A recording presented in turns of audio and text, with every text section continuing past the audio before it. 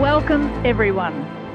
Benvenuto tutti all'occasione del matrimonio di Anna and Raoul.